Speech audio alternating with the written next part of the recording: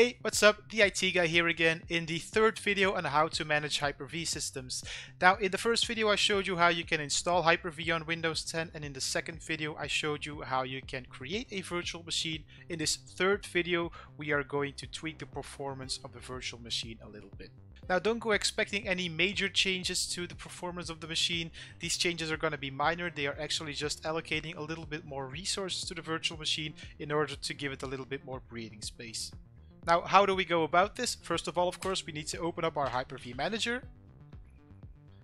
There we go. So to make the hardware change to the virtual machine, you need to make sure that the virtual machine's operating system, the guest operating system, is already shut down. You have to do that within the operating system itself, and I'll show you why within a short moment. But as of now, our virtual machine is shut down you can see that by the fact that the state is in the off state and that means that the virtual machine is completely shut down and it's ready to make some changes in the settings. Now, how do we go about changing these settings in the virtual machine itself? Very easy. Just go over to the virtual machine, click the right mouse button and go over to settings. And in this list you can see a whole bunch of virtual hardware. We will need two of these options, first of which is the memory and the second is the processor. But let us start off with the virtual processors first. So over here you can change the amount of virtual processors. Now changing the amount of virtual processors in the virtual machine is probably going to have the most impact on the performance of the virtual machine.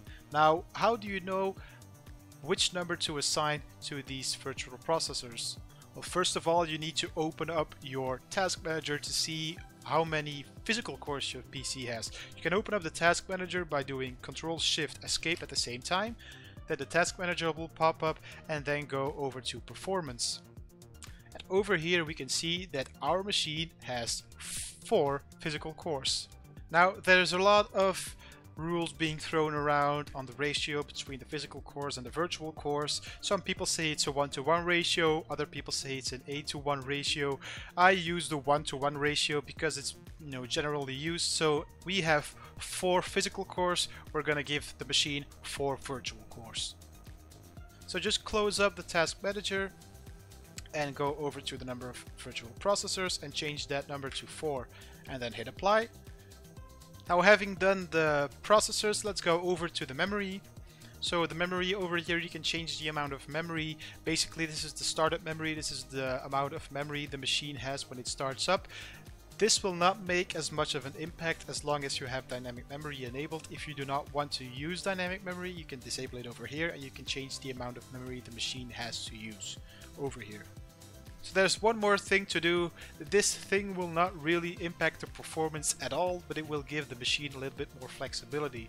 So we'll give a little bit more flexibility between the host operating system and the guest operating system, as it will allow files from the host operating system and the virtual machine to be copied to each other and also allowing to shut down the system from within the Hyper-V manager itself which is a little bit easier than always having to go into the virtual machine's operating system and shutting it down from there. So to do that just go over to the integration services and take this guest services box and then click apply and that's all you need to do.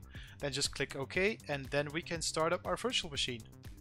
So our virtual machine is up and running. I had a decrease in boot time from 25 seconds to 50 seconds, a full-fledged 10 seconds decrease in boot time. I think that's quite worth your while. I hope this video helped you out and if it did, please leave a like and if you want to see more of my videos, please subscribe and I'll see you in the next video. Bye!